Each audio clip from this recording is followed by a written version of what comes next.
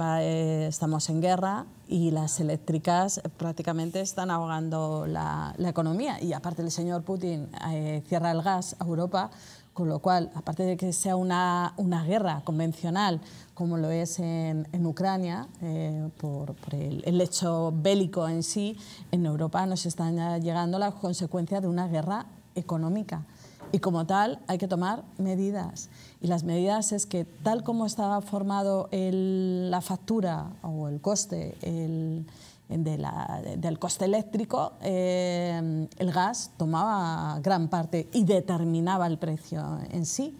Entonces, ahora costó y por iniciativa de este gobierno, por más que el señor Lacalle diga que no, que la península ibérica formara parte de esa isla, excepción ibérica, porque no estábamos tan conexionados con el resto de, Europa, para que baje la factura. no, ha bajado, ¿no?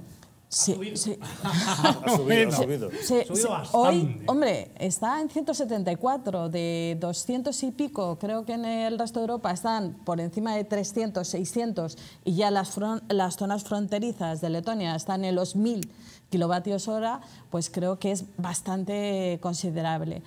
Sobre eso, las energías, como eso es un bien básico, eh, que diga el señor Lacalle que tienen pérdidas, pues hombre, esto es como las basuras. El servicio de basura siempre va a haber, siempre se va a recoger. Luz, estemos en casa o estemos trabajando, el servicio energético está. Y se tienen que tomar medidas. Las toma la Unión Europea, que creo recordar no es socialdemócrata en su mayoría. copia